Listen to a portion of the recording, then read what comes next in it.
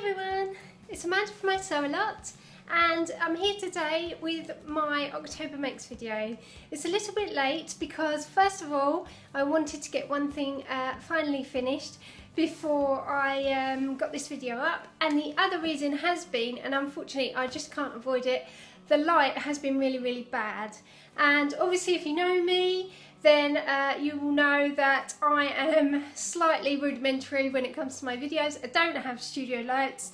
I film everything on my iPhone, so um, yeah, I was hoping I was going to be able to get a day where the light was slightly better, but unfortunately that's not happened. So I'm going to try and do everything I can when I edit this to make it as bright as possible and I really hope that you can see the garments. Um, unfortunately I've got two, um, actually I've got three that are really dark so fingers crossed you can see okay.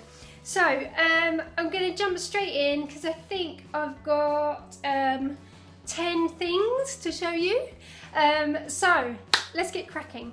Um, so I've had a month this month where not only have I sewn um, a couple of quite uh, big things, um, but I've also done a lot of sewing for other people. I don't generally sew that much for other people, but this month has been a bit of an exception.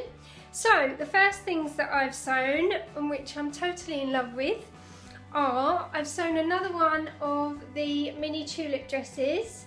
As you can see, I've got little um, snaps on there. It's got a little tiny pleat in the front, and it is actually reversible if you wanted to have it the other way out. And I made one of these for my niece recently as well.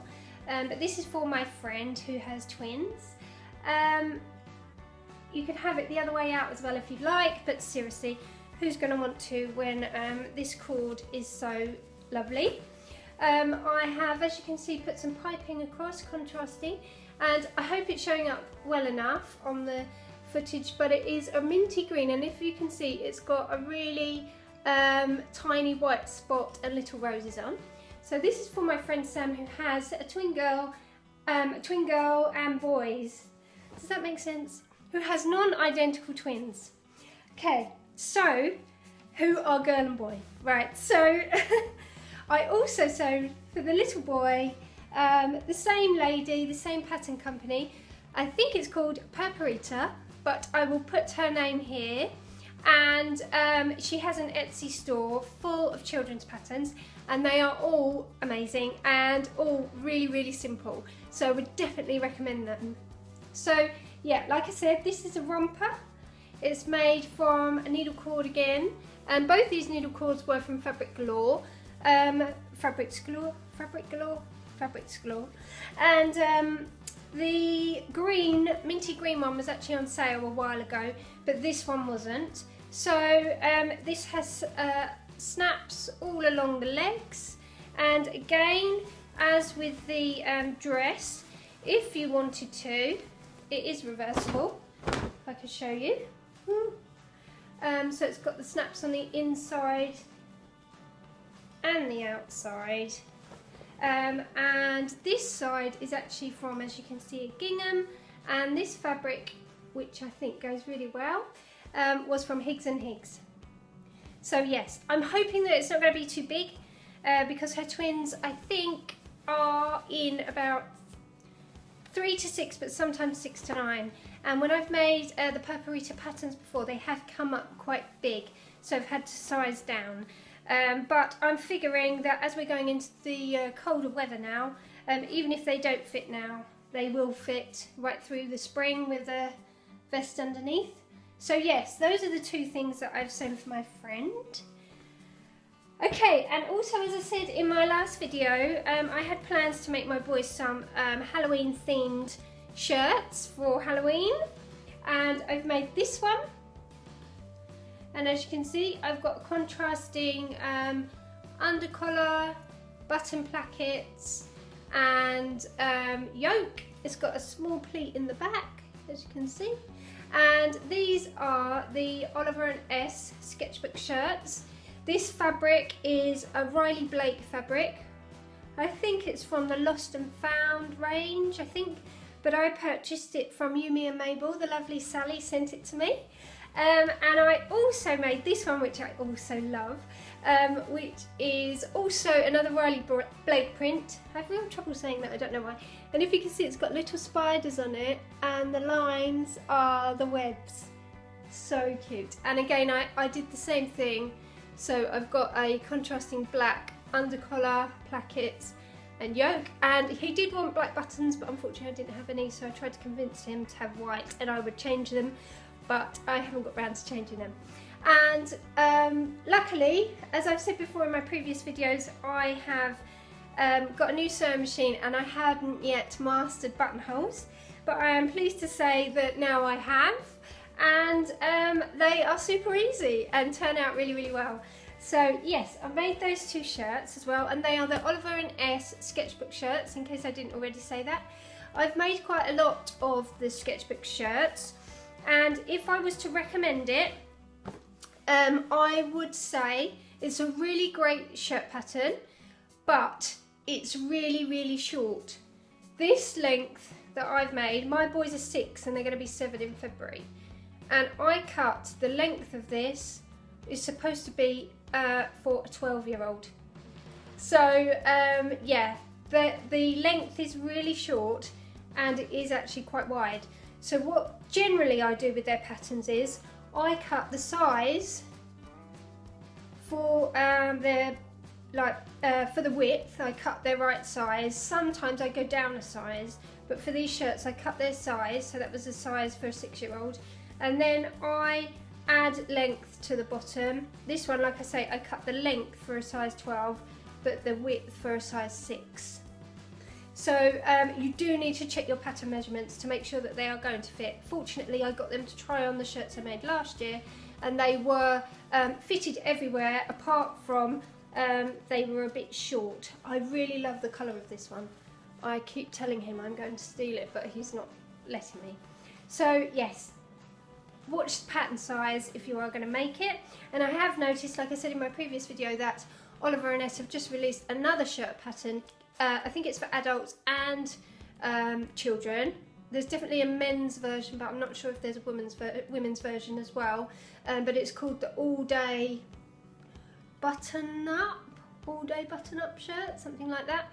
So I might give that a try as well because that's got long sleeves, got two pocket, two breast pockets, um, chest pockets for boys, clearly. Um, I don't know what I'm saying today, just to warn you. I've got a lot to get through, I'm trying to rush because uh, one of my boys is downstairs watching the Chamber of Secrets and my other boy is out with daddy and will be back soon for, and wanting lunch. So, moving on. The next one, talking of daddy, um, I have made for uh, my husband some boxer shorts and this fabric, as I've said before, is from the lovely Megan of Pigeon Wishes. And the pattern is the Bobby Boxer Shorts by Flojo Fabrics. Um, and yes, uh, I had a bit of trouble with these. Now I am happy to say that they fit and he has worn them. Underwear is a bit of a weird thing. You don't want to get it wrong because there's no way you're going to spend all day wearing uncomfortable underwear. So I'm happy to say that he has worn them and he did not take them off and change them for a different pair. So they must have been comfortable. But two things about this pattern. First of all, I sewed medium and I checked the sizing on my husband's um, ready-to-wear boxer shorts which gave me the waist measurement. So I went for the same measurement in the pattern as um, on his ready to wear shorts and they were too small. So I had to, I'd already done the fly and everything because he wasn't here when I was making them unfortunately. Um, so I'd already done the fly and everything. Um, so I had to undo all of the side seams and I undid the back seam and I have just um, used a really really tiny seam allowance on them. Um, I, as you can see I've just gone to the edge of my overlocking. So what's overlocking? Five millimeter. So that's how big my seams are. Um, and I used plush elastic which I spoke about um, in my previous video which is the soft backed elastic that you normally get in boxer shorts. Um, and the other thing with that pattern that I found really really confusing the instructions unfortunately weren't that clear, but um, and I managed to sew it together here by following the instructions and then obviously realised that that wasn't right because there needs to be a gap there but um, all of the pattern lines are the same so you know obviously in every other kind of pattern I've ever sewn um, the pattern lines um, so that you can choose the correct size are different so it's easy to follow the size that you want. Well on this pattern all of the pattern lines are exactly the same, they're just a solid line and I found it really confusing when I got round um, to cutting out the crotch curve um, to figure out which line I was supposed to be following. So bear in mind that um, that is a bit of an issue. Um, I didn't follow the instructions with the waistband.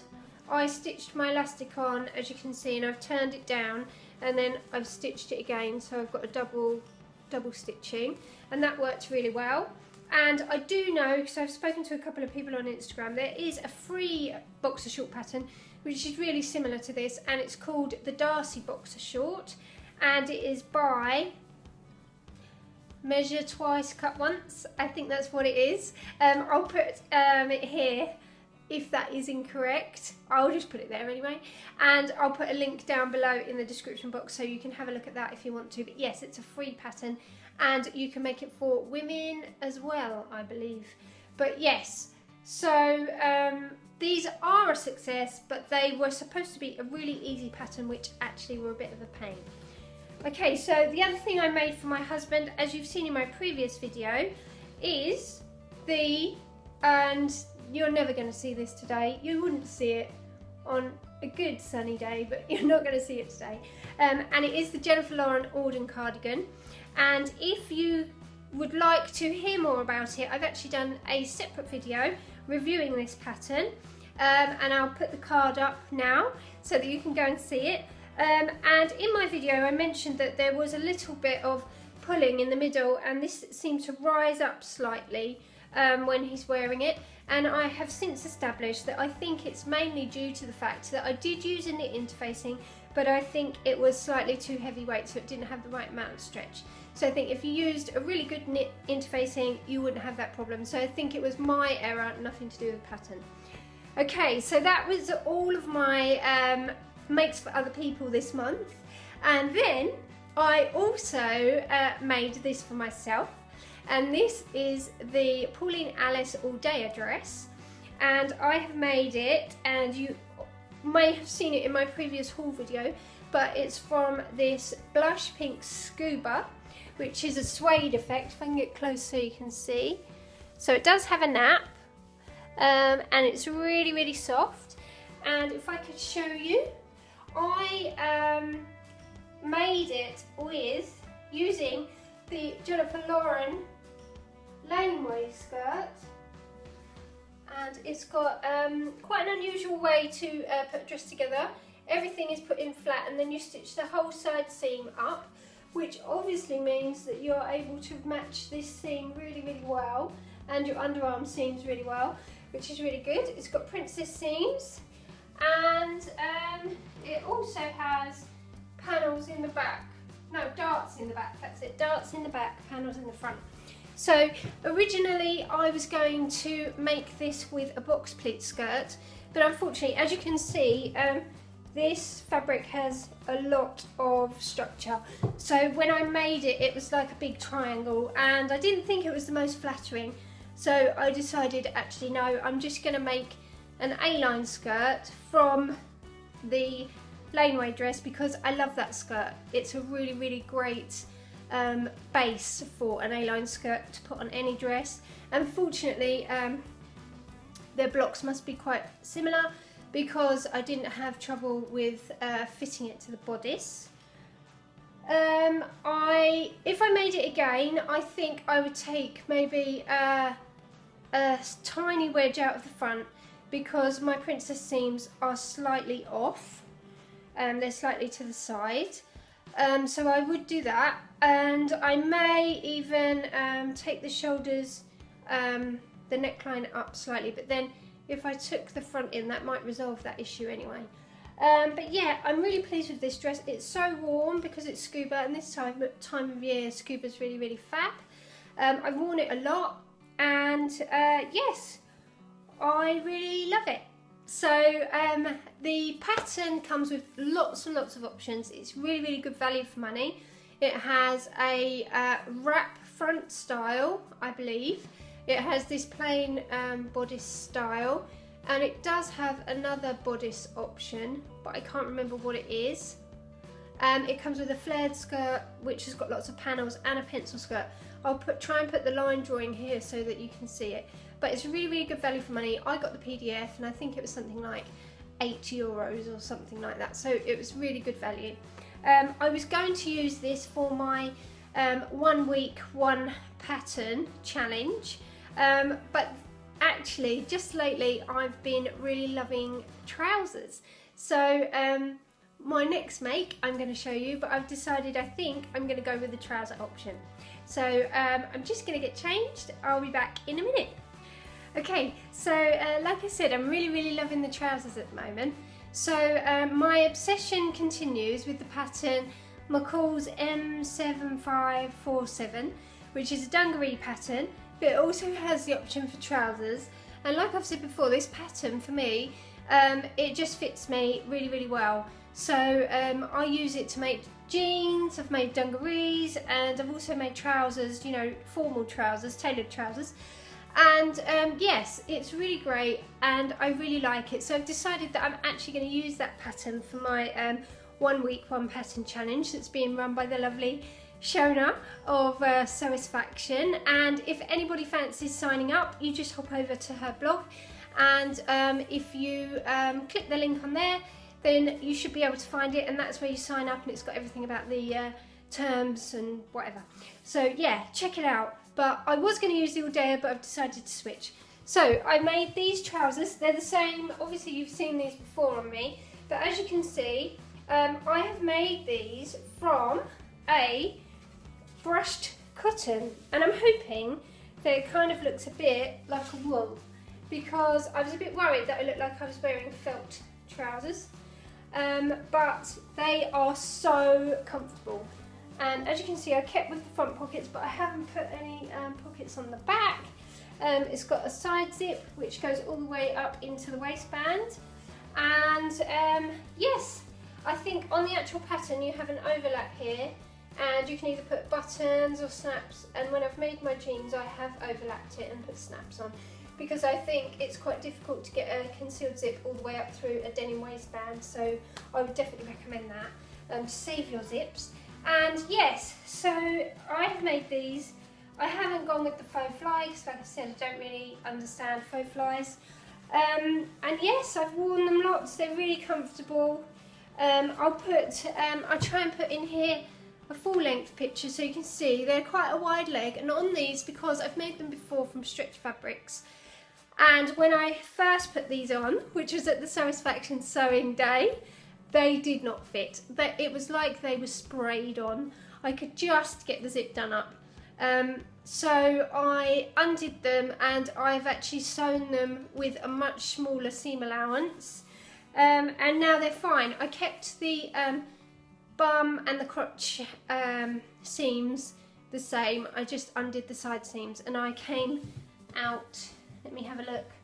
Um, yeah, I think I used a one centimetre seam um, on all those seams. But yes, they're they're fab. They're so warm because obviously cotton has um, thermal properties. So for this time of year, really really good. So yes, I've made those. And the next thing, actually, I can slip on. And I have posted about this on Instagram. And um, in case you don't know, I um, am actually going to be teaching a workshop at Sewisfaction HQ and that's on the 19th of November and I'm going to be teaching this. Oh. So this is the Sew House 7 toaster sweater and oh my goodness I am so in love with this sweater. I uh, took part in the Sew My Style challenge um, towards the beginning of the year but unfortunately I fell out of love with it a little bit because the patterns weren't really to my taste um, but the, so, the toaster sweater was one of the patterns that I did make, um, but it was the other version. I can't remember which version is which. I think this is a toaster one. And as you can see, I've made it from this really, really beautiful um, quilted Ponte Roma from Sewisfaction that I got on the sewing day. And it is so cozy. And I was going to get some of the black, but I noticed that she's so sold out. So I, I have actually managed to get some from Fabric Godmother. Um, so I'm going to make a black one. But it's got the funnel neck, it's got these really um, deep cuffs, which I really like. And it also has a deep waistband. Hopefully you can see that. And yes, it's slightly um, cropped, slightly.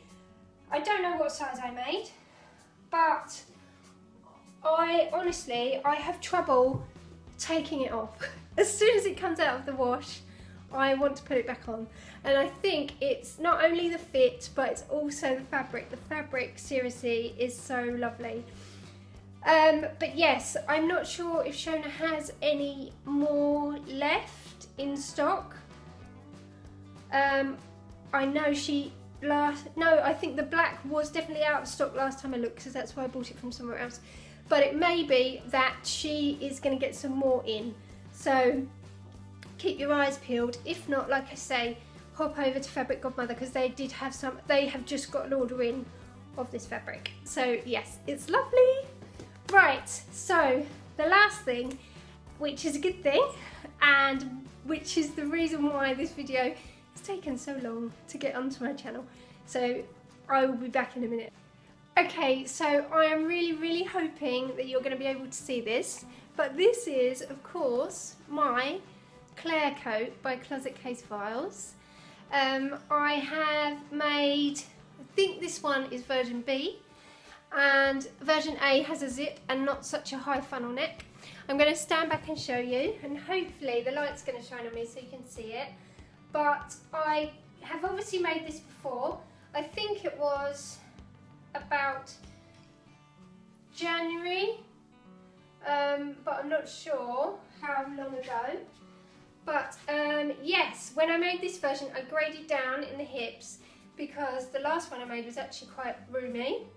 I have also got this fab lining, which is 100% viscose lining from Sewisfaction. I've used lining on the inside as well, as you can see. And I put, added some piping. It doesn't tell you to do that in the pattern, but I just think it makes it look really cool. And um, I've used these giant snaps, they're Prym ones. Um, and I used these in my last one, but I think because they're black, they really go really well.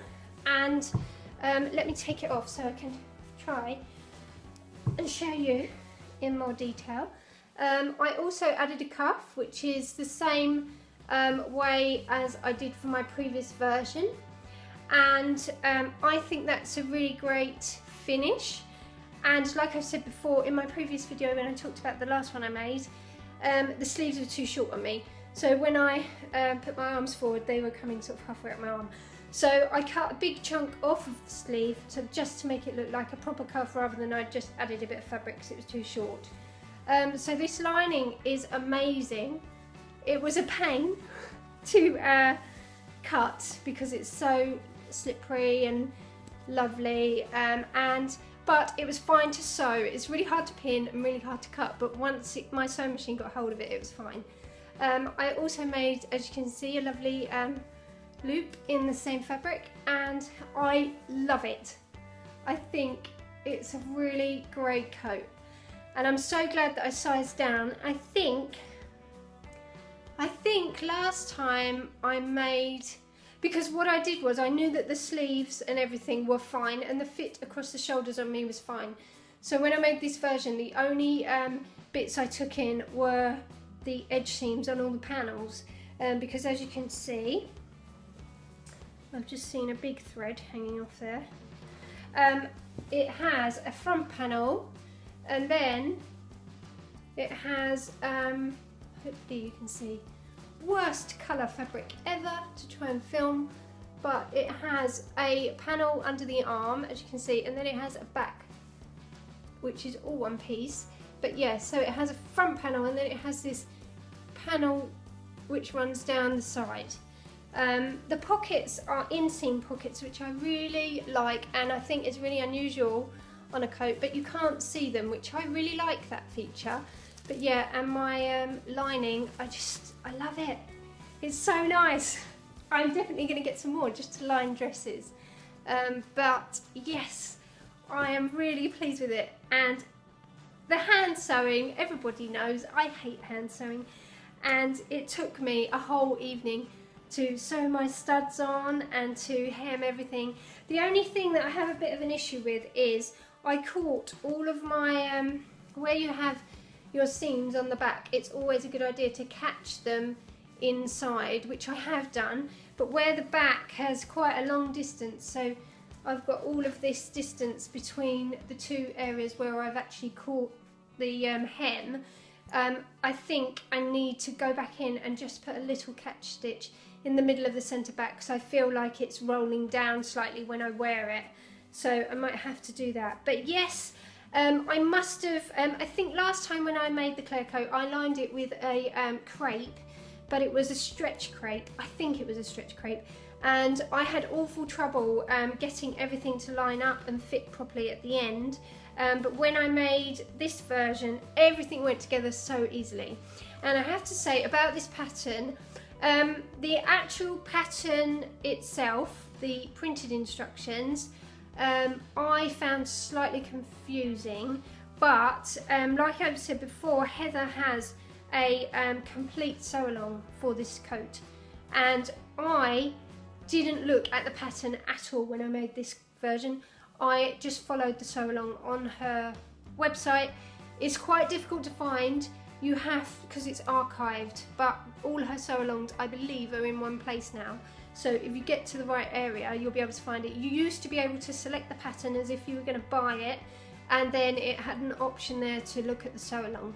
And there's 13 parts to this coat, and it's a really, really great sew along. Like I say, I didn't look at the pattern instructions at all. Okay, so that is it.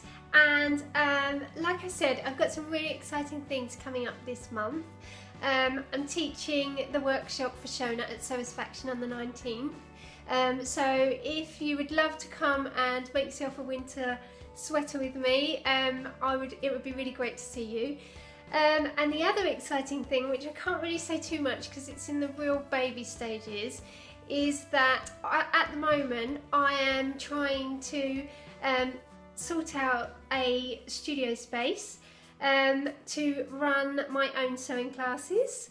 Um, obviously, I um, have no, you know, specific qualifications, but I think I can inspire people um, to sew, and I think that I can give them success. Um, I'll obviously only be running beginner and sort of intermediate classes. Um, I'm hoping gradually um, down the line, down the line to do things like um, trouser courses and things like that because I think that I can um, help people to get the fit that they're after. Uh, because I think one of the most crucial things about making your own clothes is to ensure that it does actually fit. And um, so I think that I can do that for people. So I'm going to be running uh, beginner to intermediate classes. I'm going to do um, single classes and workshops and also um, courses for people who really want to get into dressmaking and are just a little bit unsure of where to begin. So I'm hoping to get that up and running um, and obviously I'll be able to talk about that a bit more once um, it's launched uh, but it's not too far away so really really exciting times. So um, I'll be back soon with a haul because I've got loads of plans as always uh, for this month and um, yes, and I really, I know I say this every month, but I do have an idea for a one hour challenge. Um, so I'm really hoping that I will be able to do that. Uh, the reason that I've fallen behind a little with those is purely down to the lighting, because like I say, I don't really have any studio lights. I just, you know, it just depends whether it's a sunny day or not. So I'm keeping my fingers crossed that I will be able to get that out to you. Okay, so that is it. Sorry for the ramble, um, but thanks for watching and I'll see you again soon. Bye!